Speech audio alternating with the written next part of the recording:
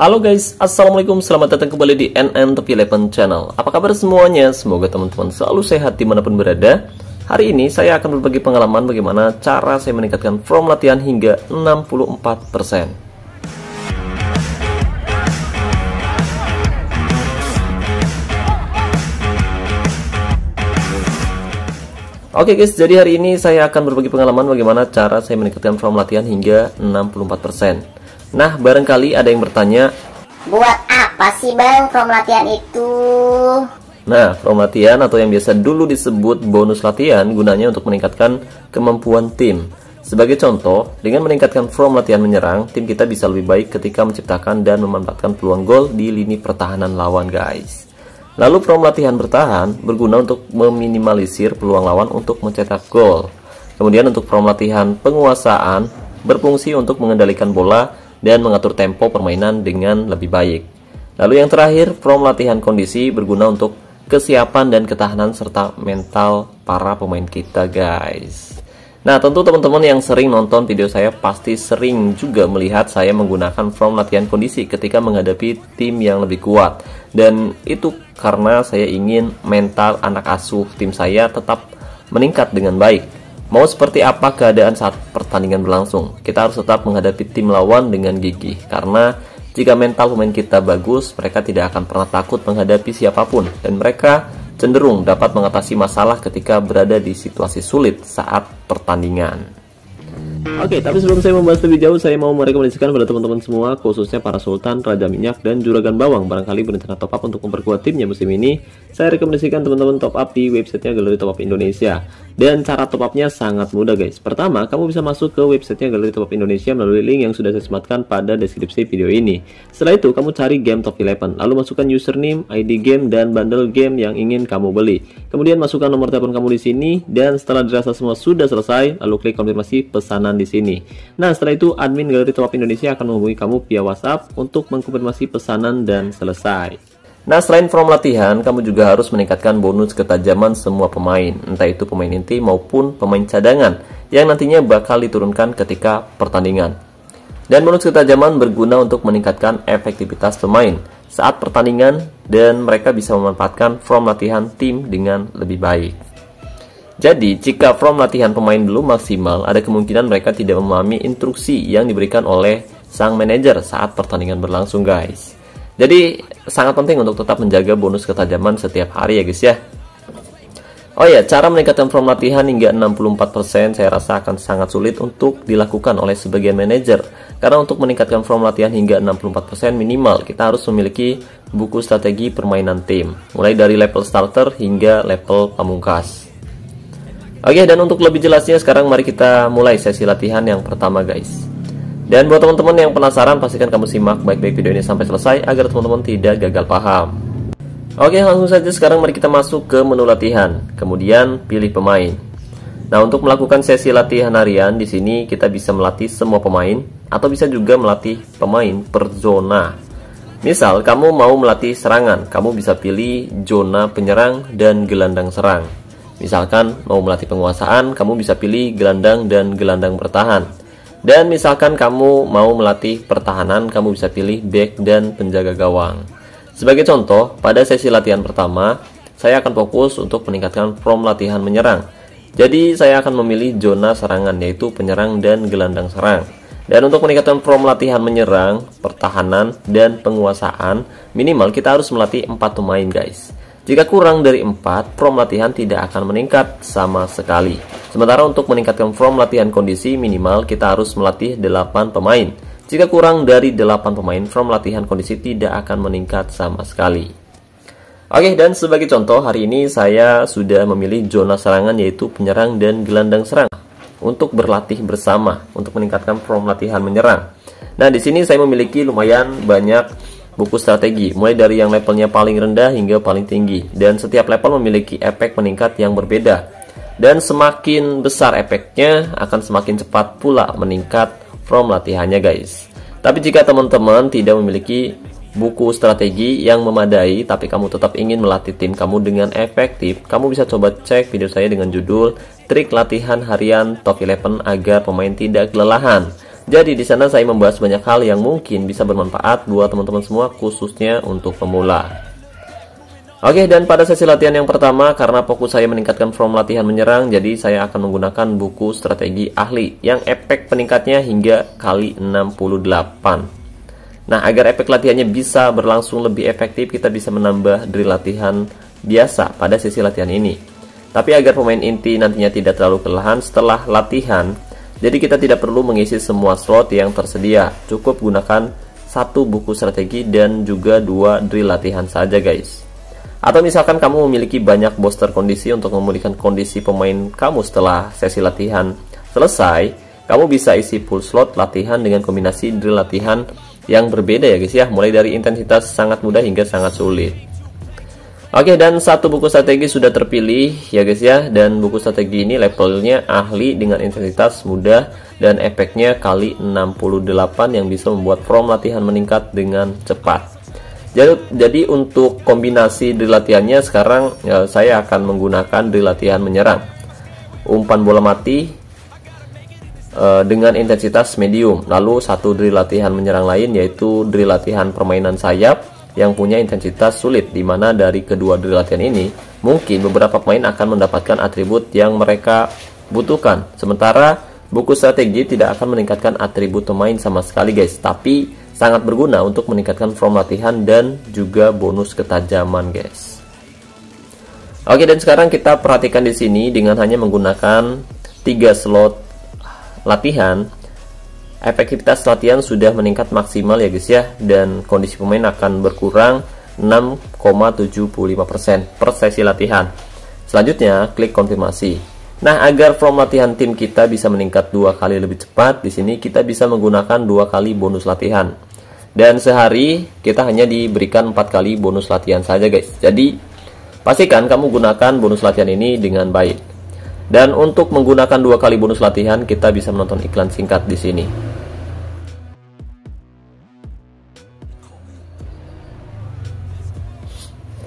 Oke, dan sesi latihan pertama pun selesai. Nah, di sini kita bisa perhatikan guys, prom latihan menyerang langsung meningkat di angka 16% ya guys ya, atau bahkan sebenarnya bisa meningkat lebih tinggi karena sesi latihan yang kita lakukan tadi ternyata mendapatkan efek lebih besar, efeknya kali 3. Nah, selain uh, from latihan yang sudah meningkat maksimal di angka 16%, bonus ketajaman pemain yang kita latih juga sudah meningkat maksimal ya guys ya. Nah, pada sesi latihan yang kedua, sekarang kita bisa fokus untuk meningkatkan from latihan penguasaan. Tapi karena di sini saya memiliki buku strategi yang mengandung dua from latihan sekaligus, yaitu from latihan penguasaan dan juga from latihan pertahanan, jadi kita bisa memilih zona gelandang dan juga zona back. Kita akan latih bersama. Tapi karena ada beberapa pemain yang sudah terlibat berlatih pada from latihan menyerang dan mereka sudah memiliki bonus ketajaman, jadi kita tidak perlu lagi mengajak mereka untuk berlatih guys, takutnya kelelahan ya guys ya. Jadi kita pilih pemain yang belum memiliki bonus ketajaman sama sekali saja guys. Nah tujuannya tentu saja yaitu agar nanti pemain inti kita tidak kelelahan setelah latihan. Oke dan setelah memastikan semua pemain terpilih Sekarang kita bisa pilih drill Seperti biasa drill latihan pertama yang akan saya gunakan Yaitu drill latihan permainan tim Nah, pada sesi latihan yang kedua, kali ini saya akan menggunakan buku strategi ahli, yaitu penguasaan taktis, dengan intensitas medium. Jadi, buku strategi ini bisa meningkatkan dua from latihan sekaligus ya guys ya. Yang pertama from latihan bertahan, dan yang kedua from latihan penguasaan bola.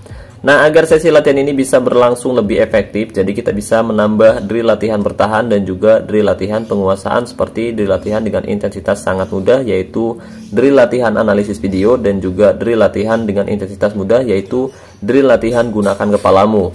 Nah, selanjutnya kita bisa menambah drill latihan penguasaan juga guys, yaitu drill latihan dengan intensitas mudah yaitu drill latihan sentuhan pertama dan juga drill latihan dengan intensitas sulit yaitu drill latihan umpan sebelum tembakan untuk meningkatkan atribut gelandang dan juga back yang kita latih guys. Nah, dengan menggunakan drill latihan ini sekarang kita bisa perhatikan di sini guys. Bar efektivitas bertahan terlihat sudah maksimal sementara bar efektivitas penguasaan meningkat 4 bar yang menandakan belum maksimal sempurna. Jadi setelah ini kita masih harus meningkatkan form latihan penguasaannya lagi hingga maksimal ya guys ya. Dan kondisi pemain akan berkurang 9% per sesi latihan lalu klik konfirmasi. Nah, sama halnya seperti melatih from latihan menyerang agar sesi latihan ini bisa berlangsung lebih cepat, kita bisa menggunakan dua kali bonus latihan dengan menonton iklan singkat di sini. Oke, dan setelah sesi latihan selesai, di sini kita bisa perhatikan guys, from latihan e, pertahanan nyaris maksimal ya guys ya, sedikit lagi. Jadi kita hanya butuh melatih beberapa kali sesi latihan saja khususnya untuk sesi latihan bertahan agar nanti form latihannya meningkat ke angka 16% guys. Begitupun dengan form latihan penguasaannya ya guys ya. Tapi pada sesi latihan yang ketiga ini kita fokus dulu aja pada sesi latihan bertahannya guys. Tapi karena bonus ketajaman pemain inti sudah maksimal semua jadi pada sesi latihan ketiga ini sekarang kita tidak perlu lagi melibatkan pemain inti melainkan hanya melatih pemain cadangan saja guys Nah tujuannya yaitu agar nanti pemain inti kita tidak kelelahan sebelum pertandingan berlangsung Oke, untuk meningkatkan form latihan bertahan seperti yang kita bahas di awal, minimal kita harus melatih 4 pemain ya guys ya. Dan sekarang saya akan melatih 4 pemain cadangan untuk meningkatkan form latihan bertahannya guys agar maksimal di angka 16%. Sekaligus membuat mereka agar bisa lebih percaya diri ketika diturunkan nanti. Nah, pada sesi latihan kali ini kita sudah tidak perlu lagi menggunakan buku strategi. Jadi kita bisa langsung menggunakan drill latihan standar saja untuk meningkatkan form latihannya guys. Oke, jadi karena kita hanya butuh sedikit lagi from latihan, jadi kita tidak perlu mengisi semua slot latihan guys. Cukup isi beberapa slot saja ya guys ya. Dan untuk di latihannya usahakan di mic ya guys ya, agar nanti kombinasinya bisa lebih bagus. Nah, kondisi pemain akan berkurang 7,5% per sesi latihan, lalu klik konfirmasi. Oh ya, pada sesi latihan ini kita juga tidak perlu menggunakan dua kali bonus latihan guys. Jadi, uh, Bonus latihannya kita gunakan untuk meningkatkan form latihan penguasaan dan juga form latihan kondisi saja ya guys ya. Oke, dan sekarang langsung saja mari kita mulai sesi latihannya guys. Oke, dan sesi latihan pun selesai dan sekarang kita sudah uh, bisa perhatikan di sini guys, form latihan bertahan sudah maksimal di angka 16%. Nah, selanjutnya kita bisa fokus meningkatkan form latihan penguasaannya ya guys ya. Jadi sama seperti ketika melatih pemain bertahan karena bonus ketajaman pemain inti sudah maksimal, jadi kita tidak perlu lagi melatih pemain inti, melainkan hanya melatih pemain cadangan saja guys. Dan agar form latihan penguasaan bisa meningkat minimal, kita harus melatih 4 gelandang ya guys ya. Nah, pada sesi latihan yang keempat, agar proses latihannya bisa berlangsung lebih cepat, jadi saya akan menggunakan buku dengan intensitas sangat mudah yaitu sirkulasi bola. Dan agar sesi latihannya bisa lebih efektif, saya akan menggunakan drill latihan tambahan seperti drill latihan kucing-kucingan, drill latihan sentuhan pertama, drill latihan beralih cepat, drill latihan permainan kontak, dan drill latihan umpan sebelum tembakan. Kemudian kondisi pemain akan berkurang 8,25% per sesi latihan, lalu klik konfirmasi. Nah, pada sesi latihan yang keempat, sekarang kita bisa kembali menggunakan dua kali bonus latihan agar proses latihannya bisa berlangsung lebih cepat guys oke. Dan sesi latihan pun selesai. Sekarang kita perhatikan di sini from latihan penguasaan sudah meningkat di angka 16% ya guys ya. Dan selanjutnya kita bisa fokus untuk meningkatkan from latihan kondisinya guys kita akan meningkatkan from latihan kondisinya guys karena kondisi sangat penting untuk tim kita untuk mengasah mental mereka agar lebih bagus guys. Dan untuk meningkatkan from latihan kondisi minimal kita harus melatih 8 pemain cadangan. Jadi pada sesi latihan yang terakhir ini saya tidak akan melibatkan pemain inti lagi guys, melainkan melatih pemain cadangan saja guys ya. Karena sesi latihan ini intensitasnya akan sangat-sangat sulit yang bisa membuat pemain kita kelelahan nantinya. Jadi cukup pilih minimal 8 pemain cadangan saja untuk meningkatkan form latihan kondisinya guys. Dan untuk meningkatkan form latihan kondisi, kali ini saya akan menggunakan buku strategi starter dengan intensitas sangat mudah, yaitu buku strategi latihan performa mantap. Dan agar sesi latihan e, bisa lebih efektif, seperti biasa kita bisa menambahkan drill latihan standar. Dan seperti bi biasa kita mix lagi, kita acak ya guys ya untuk drill latihannya mulai dari drill latihan dengan intensitas sangat mudah hingga drill latihan dengan intensitas sangat sulit. Dan kondisi pemain akan berkurang 12,75% per sesi latihan, lalu klik konfirmasi. Dan seperti biasa, agar sesi latihan ini bisa berlangsung lebih cepat, kali ini kita bisa menggunakan dua kali bonus latihan dengan menonton iklan singkat di sini.